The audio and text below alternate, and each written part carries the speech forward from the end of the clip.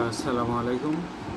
আজকে আমরা আলোচনা করব এক শতাংশ জমি মাপার পদ্ধতি সম্পর্কে। যদি আমরা এক শতাংশ জমি মাপতে পারি, তাহলে আমরা দশ শতাংশ, বিশ শতাংশ, পঁচিশ শতাংশ সবগুলা জমি মাপতে পারব। কিন্তু আমাদের এক শতাংশ জমির মাপটা জানতে হবে, তাহলে আমরা দশ শতাংশ মাপতে পারব। কিন্তু আজকে এখন আমরা দেখব এক শতাংশ জমি হইতে হইলে কতটুকু লাগে, মাপটা কত হয়? তাহলে আঁকতেছি আমরা, ধরলাম এটা একটা জমি। এই জমিতে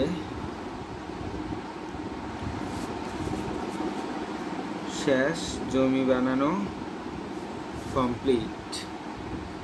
এবার এখানে আছে কি? দৈর্ঘ্য এবং প্রস্থ। আমরা জানি যে দৈর্ঘ্য এবং প্রস্থ বের করলেই ক্ষেত্রফল বের হয়ে যায়। এই পদ্ধতিতে তো আমার জমিটা হইতে হবে হচ্ছে এক শতাংশ। শতাংশের অনেকগুলা নাম আছে, শতক ডিসিমেল ডিসেম এগুলো ব্যবহার করা হয়। আচ্ছা তো আমরা দেখি এক শতাংশ জমি কতটুকু হবে? হইতে হবে হচ্ছে বিশ দশমিক আট সাত ফুট। বিশ দশমিক আট সাত ফুট হইলে জমিটা এক শতাংশ হইল। প্রস্থে বিশ দশমিক আট সাত, দৈর্ঘ্যে বিশ দশমিক আট সাত ফুট। আর যদি আমরা দৈর্ঘ্যে বিশ দশমিক আট সাত ফুট থাকে, প্রস্থেও বিশ দশমিক আট সাত ফুট হয়, তাহলে আমরা দুই পাশেই একই হবে। বিশ দশমিক আট সাত ফুট একই ধরলাম আবার এটা হবে বিশ দশমিক আট সাত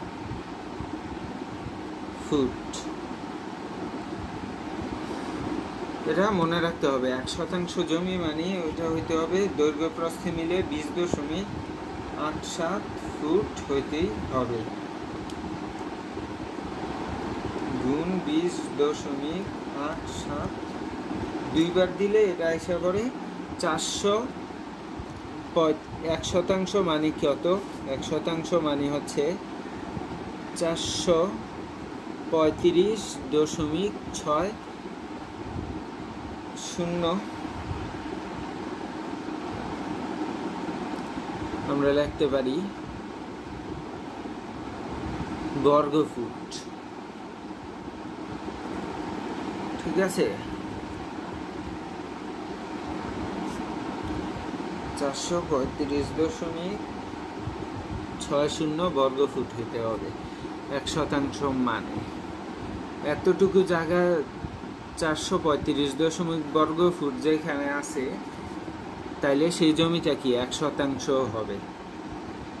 এটা আমাদের বুঝতে হবে। আর যদি চারশো পঁয়ত্রিশ শতাংশ যে আছে, এটা বুঝব কীভাবে? আমরা তাইলে দৈর্ঘ্য যে কোনো একটা সাইড মাইপটা দেখতে হবে। দৈর্ঘ্য প্রস্থে মিলে যদি, দৈর্ঘ্যে যদি বিশ দশমিক আট সাত ফুট থাকে, তাইলে প্রস্থেও বিশ দশমিক আট সাত ফুট থাকতে হবে। তাইলে হচ্ছে চারশো পঁয়ত্রিশ দশমিক ছয় বর্গ ফুট হবে জমিটা। তার মানে এক শতাংশ হবে। এবার যদি আমরা একটা জমি হচ্ছে বড়, আমরা জানি না সেই জমিটা এখানে হচ্ছে একটা জমি যেখানে দশ শতাংশ আছে।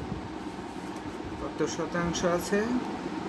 দশ। কিন্তু আমার এই দশ শতাংশ থেকে মাপ দিয়ে আমার এক শতাংশ নিতে হবে।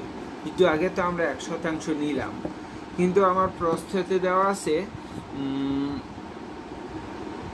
কত প্রস্থে দেওয়া আছে ধরো আঠারো ফুট। প্রস্থ আমরা পাইলাম আঠারো ফুট। এবার প্রস্থ একটা লিমিট দেওয়া আছে আঠারো ফুট। এবার আমরা জমিটার দৈর্ঘ্যতে কত আছে সেটা আমাদের দেখতে হবে। তাইলে কীভাবে দেখব? আমাদের যেহেতু আমরা বের করতে করতেছি কি, এক শতাংশ আমাদের দরকার, দশ শতাংশ জমি আছে। এটা থেকে আমরা ধরেন পাঁচ শতাংশ বের করব অথবা যাই বের করব, তার আগে আমরা যদি এক শতাংশতে বের করতে পারি তাহলে আমরা পাঁচ, ছয়, দশ শতাংশ থেকে পাঁচ, ছয়, চার, তিন, যত শতাংশ লাগে ওইটা এমনিই মাইপা নিতে পারব। আগে আমরা এক শতাংশটা মাপ দিতে হবে, তাইলেই আমরা যে কোনো তাহলে আমরা আগেই দেখছি এক শতাংশ মানে হচ্ছে চারশো পঁয়ত্রিশ দশমিক ছয় শূন্য বর্গ ফুট। তাই দেওয়া আছে কত? আঠারো ফুট দেওয়া আছে।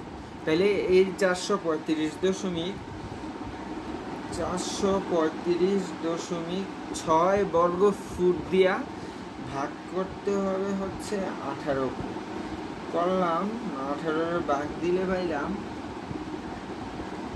চব্বিশ দশমিক দুই। তাইলে আমরা এইখানে পাইলাম আঠারো ফুট। তাইলে আমাদের এইখান দিয়ে নিতে হবে চব্বিশ দশমিক দুই ফুট। তাইলে এই ধরেন এখান থেকে এতটুকু আমাদের চব্বিশ দশমিক দুই ফুট। তাইলে এ পর্যন্ত হচ্ছে আমার এক শতাংশ জমি। তাইলে আমরা বুঝলাম এক শতাংশ জমি কতটুকু, তাইলে আমরা এতটুকু যদি এক শতাংশ হয়, তাইলে আবার আমরা এখান থেকে যদি দুই- শতাংশ লাগে, তাইলে আবার চব্বিশ দশমিক দুই ফুট, চব্বিশ দশমিক দুই ফুট মাপ দিলে আমরা পেয়ে গেলাম আরও দুই শতাংশ জমি। এভাবে আমরা মন মতন এক শতাংশ পাইলে যত শতাংশ খুশি সব আমরা বের করতে পারব।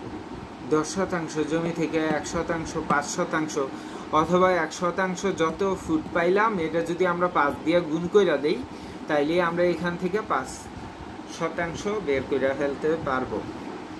বুঝলাম আমরা? তাইলে অবশ্যই চ্যানেলটা সাবস্ক্রাইব করবেন, তাইলে আপনারা জমি জমা সম্পর্কে আরও নতুন ভিডিওগুলো পাবেন। আসসালামু আলাইকুম সবাই ভালো থাকবেন সুস্থ থাকবেন।